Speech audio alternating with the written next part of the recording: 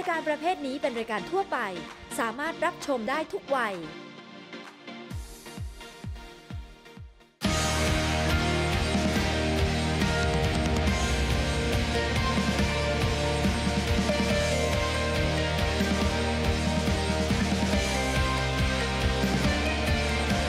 คนหนึ่งรักเสียงดนตรี ส่วนอีกคนพลีสองขาเพื่อตลาดทั่วโลก อาจจะต่างกัน แต่สิ่งหนึ่งที่ทำให้เราสองคนเหมือนกัน คือหลงไหลการเดินทาง ภาษาบาษาออกเดินทางไปพร้อมๆกับเราค้นหาตลาดทั่วทุกมุมโลก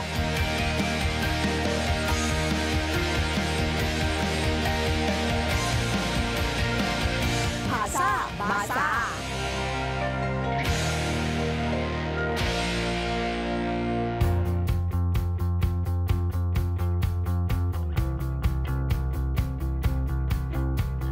โอ้ไอดูอันนี้มันเล็กกว่าดูอันนี้กว่า อันนี้ดีกว่า นี่เราอยู่นี่เลย แกชี้ที่แกแขนยาว ฉันแขนสั้น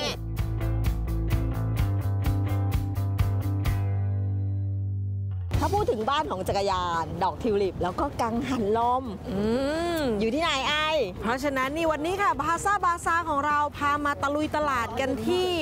อัมสเตอร์ดัมเมืองหลวงเออของประเทศเนเธอร์แลนด์ค่ะ ใช่แล้ววันนี้ไม่ได้พามาดูจักรยานอย่างเดียว ไม่ได้พามาดูดอกทิวลิปอืมแต่วันนี้มีหลายตลาดด้วยที่พาไปดูใช่แล้วค่ะเพราะว่าอัมสเตอร์ดัมเป็นเมืองที่โอ้โหต้องบอกว่าเรื่องตลาดนี่ยอมแพ้เมืองไหนในยุโรปไม่ได้เหมือนกันอัน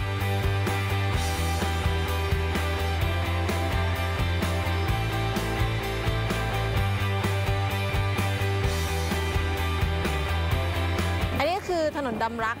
ที่พี่บอกใช่เออถ้าจะหาจุดเริ่มต้นออกท่องอัมสเตอร์ดัมที่ดีที่สุดค่ะ คือถนนเนี้ยพี่ว่าถนนดำรักอืเอมอมันเป็นถนนเหมือนถนนสายหลักของเมือง ถนนสายช้อปปิ้ง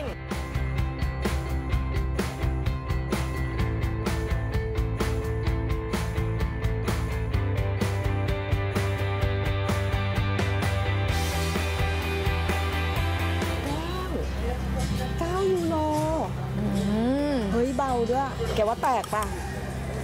ไม่แตก อันนี้เป็นแก้วแบบ มันไม่ใช่เป็นแก้วแล้วแก้แบวบอะก็คิดถึงอัมสเตอร์ดัมเห็นปะ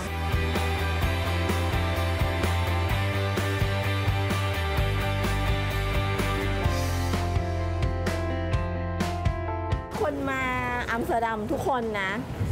มักจะซื้อชีสกลับบ้าน เออ ยิ่งถ้าแบบที่อยู่ที่นี่เป็นเมืองสุดท้ายนะ หิ้วกันแบบว่า เพราะว่าเป็นการรู้กันว่านอกจากของฝากจะเป็นประเภทเอ่อเมล็ดทิวลิปหรืออะไรก็ตามไอ้เนี่ยมันเป็นของดีไงของของเนเธอร์แลนด์เลยด้วยซ้ำเดี๋ยวลงไปดูข้างใน เมืองแห่งชีสซอยเนี้ยนะแบบโอ้โหร้านเลินแบบร้านชีสอะไปลองชิมดีกว่าไอชิมก่อนสิเฮ้ยอันเนี้ยมันเล็กไปชิมเออไปชิมก่อนไปชิมมันใหญ่ข้างในไปสิ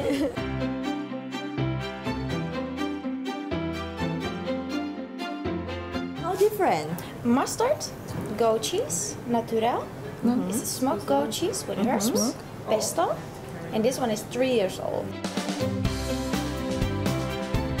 วิปชีสอันนี้มีเหมือนมะเขือราดข้างหน้านะไอ้นะพิซซ่าเลยข้างล่างเป็นชีส อันนี้เหมือนชีสแฟคทอรี่อะ ซึ่งเราอาจจะยังไม่เห็นขบวนการผลิตแต่ว่าที่นี่นี่แบบ เดินเข้ามาแล้วเหมือนมิวเซียมอะเขาบอกว่าชีสของที่นี่เป็นประมาณ ทั้งทั้งทั้งที่เมืองเขาเนี่ยประมาณร้อยกว่าชนิดใช่ เยอะมาก เราไม่ได้ขายชีสเป็นก้อนๆอย่างเดียวที่นี่มี Product ที่ทำจากชีส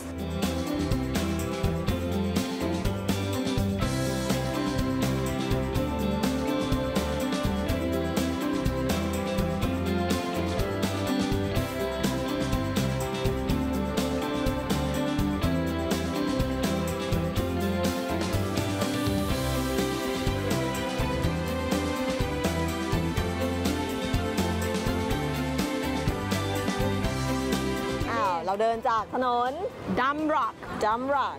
เป็นอะไรกับบางรัก ก็น่าจะเป็นเพื่อนกันเพื่อนกันเอาเพื่อนกับบางรักเดินมาอะนิดเดียวยังไม่ทันเหนื่อยเลยแค่ร้อนอย่างเดียวแค่นั้นเอง เรามาอยู่ในจุดที่เรียกว่าจัตุรัสดำจัตุรัสดำด้วยนะเอออตรงนี้เป็นไงไอมองไปรอบตัวไอเห็นอะไรมั่ง มีสถาปัตยกรรมเออที่เยอะเลยนะใช่มีมีมีอนุสาวรีย์หลากหลาย แต่ว่าไอชอบที่สุดคือข้างหลังนี่ราชวังหลวงข้างหลังไอ แล้วก็ด้านนั้นเป็นโบสถ์เออส่วนด้านนู้นเป็นห้างไบเอ n นคอฟห้างหรูแพงที่สุดในอัมสเตอร์ดัมเรียกว่าถ้าอยากจ่ายของแพงๆก็เข้านี่อยากได้เลยช็อปเออกระเป๋าหนักโปรดเดินเข้าด้านนั้นถ้า ไม่อยากจ่ายแพงมาก ไปสั่งตรงข้าม อยากดูพิพิธภัณฑ์นี่มาดามทุสโซจ้าอยู่ฝั่งนี้ ฝั่งตรงข้ามเลยตรงนู้นเย็นๆนะอายแบบโหพี่มาเมษาปีที่แล้วเย็นๆมีเด็กมานั่งเล่นดนตรีเปิดตรงหมนี้วกเออตรงใต้อนุสาวรีย์ตรงนี้ค่ะเออ ก็เนี่ยเดี๋ยวเย็นๆเราอาจจะแวะมาดูตรงแต่นี้ว่าอีกทีเดี๋ยวเย็นเนี้ยวคงมา เอ้ยมันชิลมุมนั้นมันชิลอ่าแล้วก็ แต่ตรงเนี้ยเป็นมุมที่ ไม่ว่าจะหนุ่มสาวนัดเจอกันหรือว่าเวลาจะมีงานรื่นเริง เฉลิมฉลองมักมาเริ่มต้นกันที่จัตุรัสดำเออหรือไม่ถ้าคุณมากับเพื่อน แล้ว ถ้าคุณหลง คุณควรจะมาเจอกันที่จัตุรัสดำเหมือนที่เรานัดกันเมื่อสักเอครู่อเดี๋ยวนี้ต้องนัดกันหลงอะ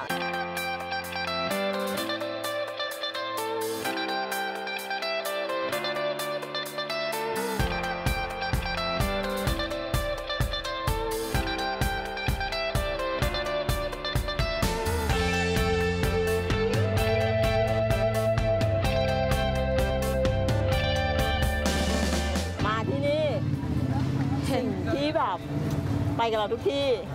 หันไปทุกอนูคือจักรยานนี่แหละ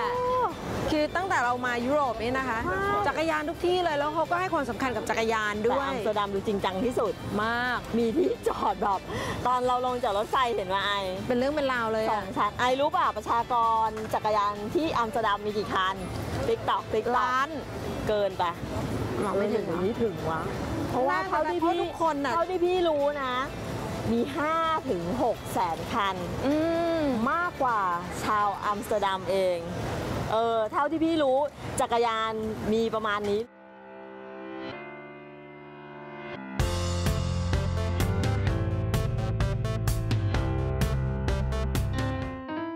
ไอที่จะไปเที่ยวนี่เตรียมตัวพร้อมยังพร้อมแล้วค่ะพี่กระโปรงกระเป๋าเพียบ เงินไม่ต้องเอาเยอะนะ บัตรเครดิตใบเดียวพอ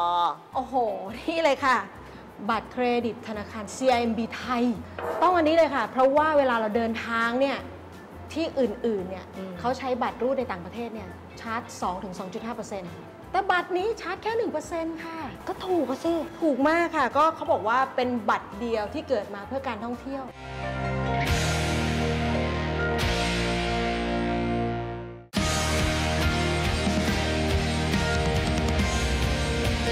ร่วมเดินทางโดย บัตรเครดิต ธนาคาร CIMB ไทย บัตรเดียวที่เกิดมาเพื่อการท่องเที่ยว สายการบินยูเครน International Airlines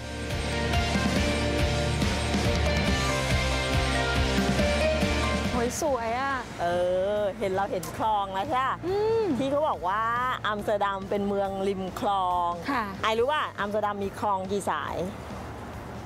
เป็นร้อยมันน่าสายเออมันน่าจะเยอะนะ เพราะว่าเห็นคลองเป็นร้อยสายอะมันจะคดเคี้ยวรถเลี้ยวไปตามอย่างเงี้ยแล้วถ้ามีเวลาเดินใช่ปะเราก็จะเห็นอย่างเงี้ยบ้านอาคารสำคัญอาคารเก่าแก่อยู่สองฝั่งคลองแบบเนี้ยแล้วมันก็จะมีสะพานอย่างเงี้ยเชื่อมเชื่อมคลองไปเรื่อยๆ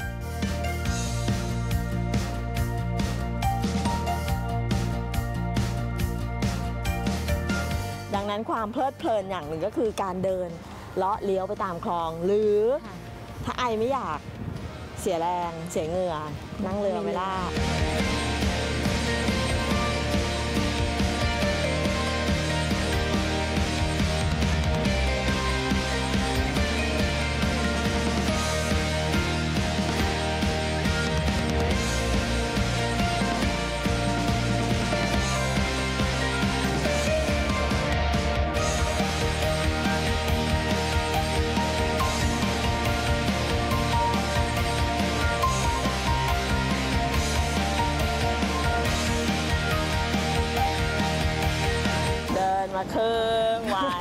ดินมาครึ่งวันแดดไม่ร้อนเลย ไอ้มัววแต่ไปเพลิดเพลินอยู่กับบรรยากาศบ้านเรือนเขาแล้วก็ทางเขานะ สวยทุกมุมอะ คือไอ้เราเนี่ยตั้งใจว่าเดินจากจัตุรัสดอะฮะำพุ่งตรงมาตลาดนัดดอกไม้ แต่กว่าจะถึง เราเป็นไอแดดเดียวกับการแดดเดียวไปแล้วอุ๊ยแดดแรงคือบบมากแดดแรงมากผิวผ่องไปเลยค่ะ เพราะว่าแดดเบาๆ ตอนนี้ SPF 70 คงเอาไม่อยู่ เพราะว่าโอ๊ยเราถึงแล้วไอนี่ตลาดดอกไม้คืออยู่ใจกลางเมืองอัมสเตอร์ดัมเลย เปิดได้กี่โมงเอ่อ9โมงค่ะเออจนถึงห้าหกโมงเย็นเนาะห้าโมงเย็นอะไรอย่างประมาณนี้ เปิดทุกวันปะไอายจันทร์ถึงเสาร์อาทิตย์อาทิตย์ปิดเออแต่เดี๋ยวเราเข้าไปดูเพราะว่าหลักๆ เราเชื่อว่าเจออะไรไม่รู้ แต่ที่เจอแน่ต้องมีทิทิววลิปนี่เห็นแล้วกระบะแรกเลย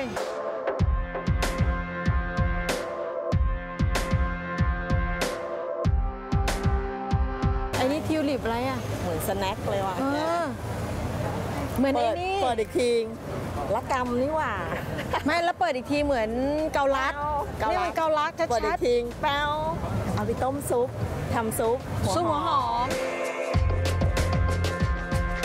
ที่จริงแล้วมันคือทิวลิป ใช่ไหมมันไอ้นี่ดอกทิวลิปไหมอะ ไม่ใช่ฟรายแฟรี่ดรีมนี่ดอกแฟไม่รี่ถืดอรีว่าเป็นรุ่นทิวลิปแต่เป็นเหมือนกับแบบพันพัน ราคาประมาณ 4.9อ๋อ54 20นี่200 ทิวลิปพันธุ์ที่เรารู้จักมากที่สุดก็คือทิวลิปพันธุ์แถวนี้หน้าตาแบบนี้ เราต้องเดินตลาดข้างๆอันนี้เป็นร้านร้านแรกนะอ่า เออแต่ว่านี่ร้านแรกเหรอเนี่ย แค่ร้านแรกก็ตะลึงตึงๆเพราะว่าจะหาทิวลิปพันธุ์ไหน เฮ้ย เอางี้เบื้องต้นไอรู้ยังว่าทิวลิปมีกี่พันธุ์มีประมาณ 400 กว่าพันมากกว่ามากกว่าพันฮะเห็นปะไม่น่าเชื่อทิวลิปจริง ๆ มีเป็นพัน เป็นพันพันๆที่เนี่ยแต่ที่แพงที่สุดคือนี่ค่ะหัวทิวลิปสีดำแพงที่สุดใช่ไหมถูกเฮ้ยแต่แบบทิวลิปสีดำแต่มันแต่มันสวยมากอะค่ะเห็นบ้ามันดูแปลกด้วยนี่นะแล้วนี่แล้วถ้าเอาถ้าปลูกคู่กันนะทิวลิปนี่ขาวดำโหยดูไฮโซขึ้นมาทันที art อะ art อะใช่ฉันว่า art art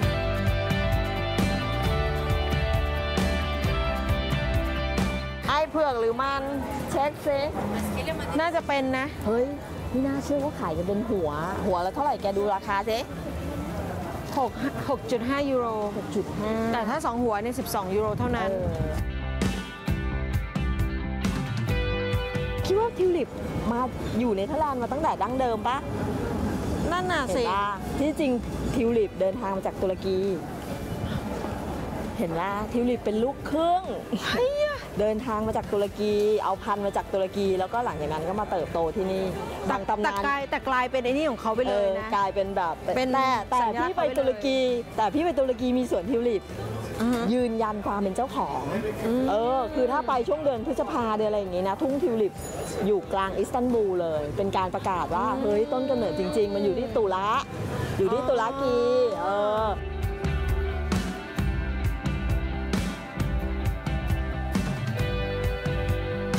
นี่มีดอกลาเวนเดอร์แต่ตด้วยลาดดอกไม้นะจ๊ะ จะมีแต่ทิวลิปอย่างเดียวก็กะไรอยู่ เยอะเยอะๆเลย ก็นี่เราผ่านเข้ามามีลาเวนเดอร์อันนี้มีอย่างอื่นฉันไม่รู้ดาวเรือง เอ้ยไม่ใช่ไอ้นี่ดะอะไรนะทานตะวัวัน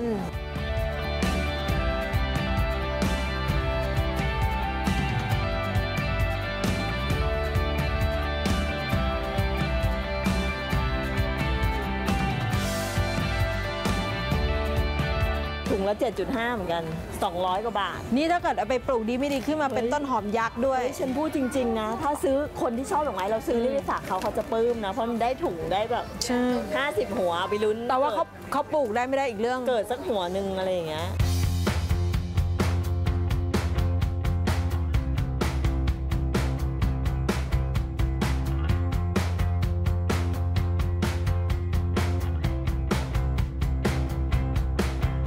พี่สงสัยเรื่องตั้งแต่การตั้งชื่อตลาดมันใช้ว่า flower market แต่จริงๆพอเดินเข้ามา เราคิดว่าจะเหมือนตลาดอื่นในยุโรปคือเป็นต้นใช่เราไปตลาดอื่นนะใช่ไหมนี่มันเป็นเหมือนกับส่วนใหญ่เป็นเมล็ดพันธุ์เป็นผักต้นทางเลยล่ะผักและดอกไม้ใช่ค่ะเอ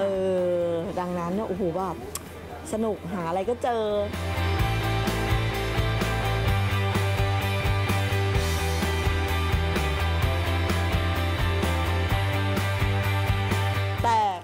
นี้มันแผงหัวหอมหรืออะไรไอ้ไอ้ว่าหัวหอมนะฮะเหมือนมากอะเกาลัดอะ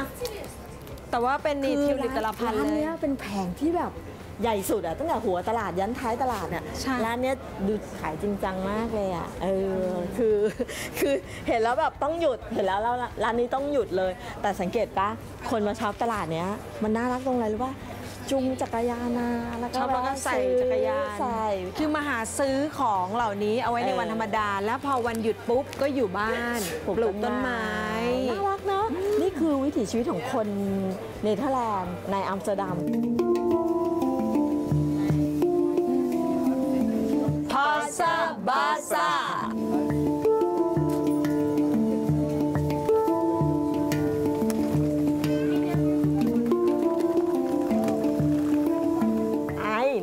ตให้พี่หน่อยสิทำไมมันช้าอย่างนี้อะเนี่ยยิ่งรีบส่งงานอยู่ด้วยอะเป็นไรเป็นอะไร มันช้ามากก็บอกแล้วไง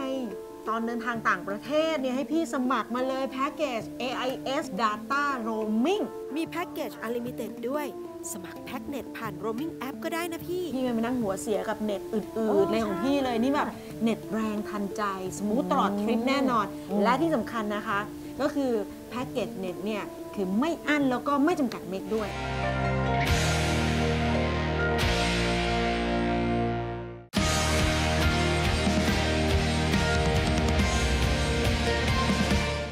นทางโดย เมืองไทยประกันชีวิต บริษัทของคนหัวคิดทันสมัย สนับสนุนโดย AIS Roaming ออนไลน์ไม่อั้นในกว่า 80 ประเทศทั่วโลก มั่นใจเน็ตไม่รั่ว No Bill Shock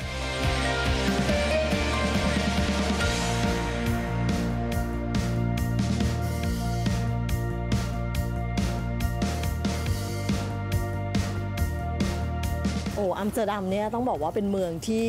มีตลาดให้เลือกช็อปเป็น ค่ะสิบอะไอแล้วข้อดีคืออะไรรู้ว่า ข้อดีคือ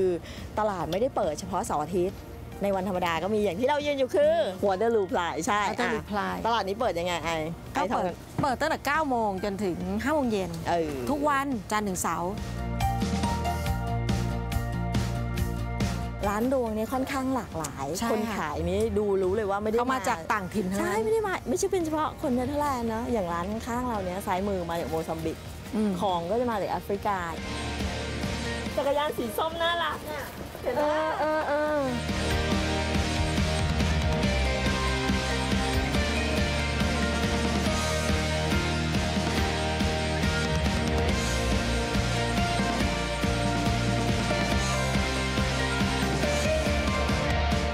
ลาดฮิปฮิปๆนะไอ้ว่า เออ เป็นตลาดกลางคือแจ้งฮิปฮิปที่อยู่ใจกลางกรุง ใช่ เออ คนมาเดินก็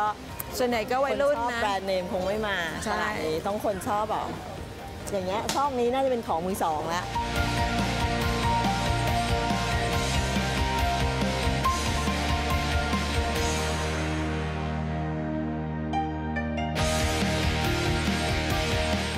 การค้าที่แข็งแรงที่สุดของเนเธอร์แลนด์คืออะไร นี่เลย กังหันลม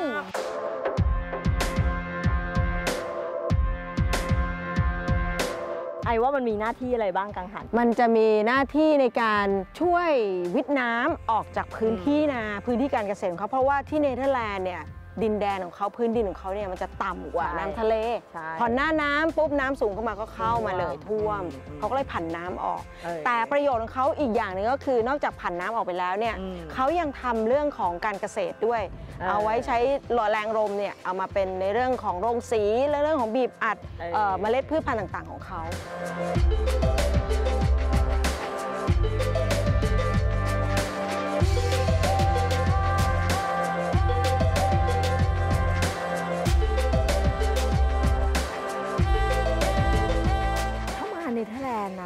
ช้ชีวิตเนิบช้า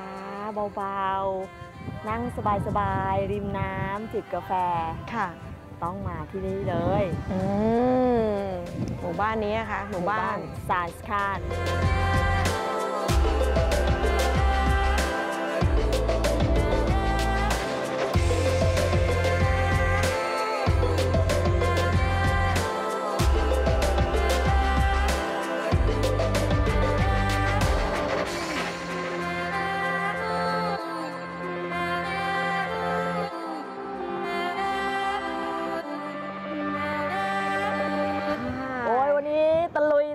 ดกันมาทั้งวันตะเลิดไปถึงที่อื่นเลยด้วยซ้ำนะคะ ชมเมืองก่อนแล้ว ไปตลาดก่อนแล้วช้อปปิ้งก็เยอ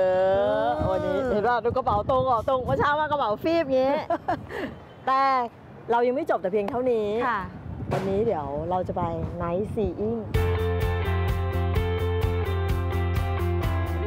ปกติมาเนี่ย คนวัยประมาณใกล้ 60 อย่างเงี้ยจะไม่ night seeing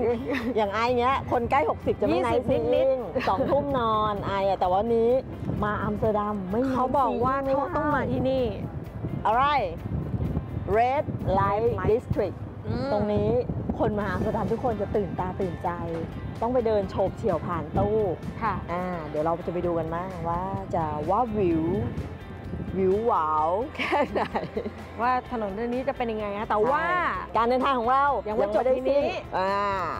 เราจะไปตลาดที่ไหน อย่าลืมติดตามค่ะ ไปกับเราพาซาบาซา